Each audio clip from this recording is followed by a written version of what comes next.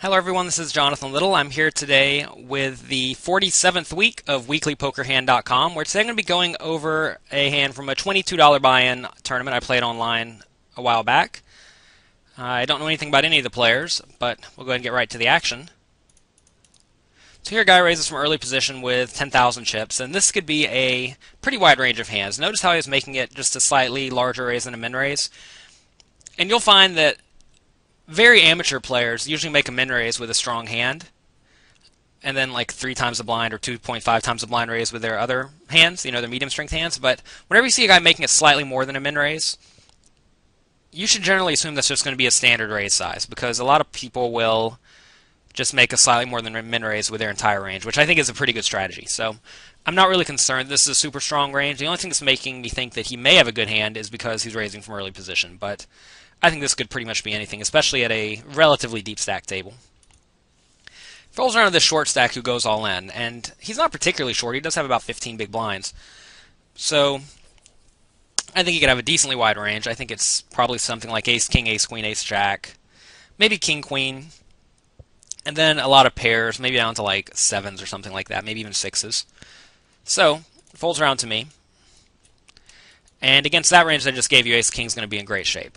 So if it was just us two in the hand, we'd have a very easy call. However, there's this other guy in the hand, and we have to figure out what his opening range is and if we can get him off of a lot of that opening range. And I think the answer is pretty much yes. Anytime you have ace king, you really do not need to fear your opponent having aces or kings that often because I have an ace and a king in my hand. That's going to make it much more difficult for my opponent to actually have aces or kings. So if this player does happen to call me, the second position guy, it's probably going to be something like queens or jacks or another ace king. And if that's the case, it's not really the end of the world because we have lots of equity. So I, I think we need to play this hand. So now the question is, should I shove? Should I call? Should I min raise? And, that's because this player has more chips. He still has chips behind here. If I call, I think that this guy will call along with something like jacks, tens, basically every time. I think with ace king, he'll definitely call. We may be able to get him call with ace queen, but probably not.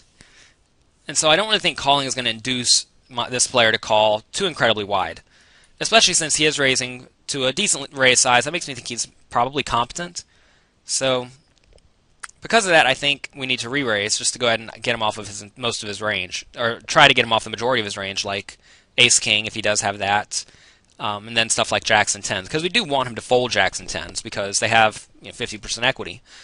And anytime your opponent has 50% equity, you certainly want them to get out of the hand whenever you're going all in and trying to isolate this short stack.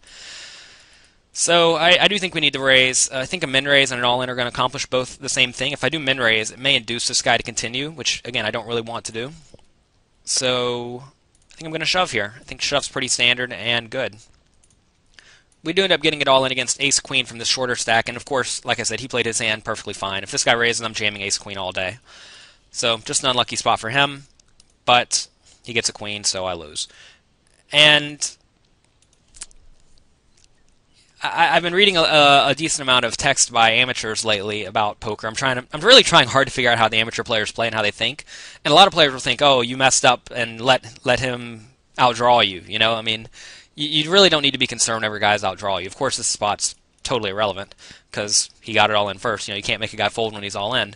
But um, you really don't need to worry about getting outdrawn. When you get outdrawn, you have to realize that you got a lot of equity and good, and that's all that really matters. And if you do that consistently, you will be a very big winner in all forms of poker, as long as you're not blinding off and waiting for only perfect situations.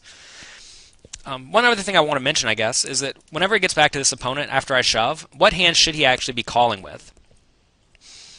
And I think that's a tough one. It depends on how wide I'm shoving here. If I'm shoving stuff like ace queen, obviously you should call it ace king. But if I'm only shoving ace king here and big pairs, then he really does need a very strong hand to continue. Probably something like queens, and I guess he can call off with ace king. So queens, ace king, and king, aces, kings, queens, and ace king, and that's really about it.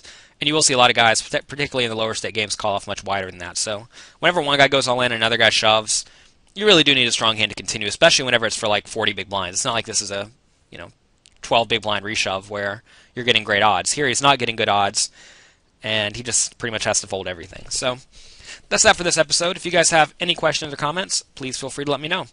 This has been Jonathan Little for WeeklyPokerHand.com. Thanks for watching.